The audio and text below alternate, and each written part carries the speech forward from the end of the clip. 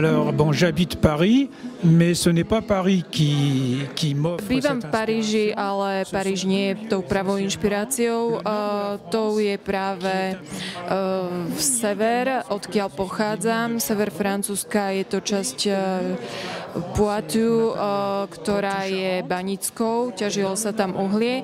Uh, dáva mi uh, inšpiráciu pre studené a tmavé farby a potom je tu západ, kde sú, kde prevládajú svetlé farby, žltá a podobne. V prvom rade je to baroko, čo ma inšpiruje.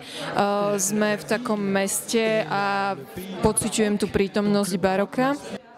Barok ma inšpiruje v mnohom, nie, nie je to len uh, tým štýlom, ale je to aj uh, živelnosťou uh, tých síl, ktoré v baroku prevládajú a ktoré hýbu telom, útočia naň, zraňujú ho. Sú to najzákladnejšie síly, ako je vietor, voda, dážď a podobne. Alors, donc j'essaie de, de tenté faire. Hein. Takže pokúsim sa vám vysvetliť, čo som tu chcel urobiť. Donc vous avez deux figures, celle-ci et celle-ci. Voyez Máte tu dve uh, hlavné postavy. Oui.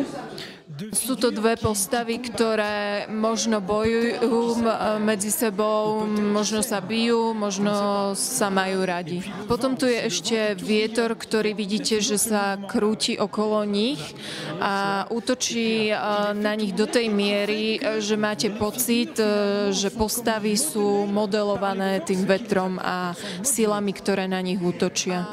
Voilà. En fait, j'aimerais que les figures soient le, le V podstate uh, mi išlo pri tých postavách o to, aby boli prvkom obrazu, ktorý sa hýbe čo najmenej, uh, pretože v skutočnosti najväčší pohyb vykonávajú všetky tie sily a prvky, ten dážď a tá voda, ktorá sa krúti okolo nich.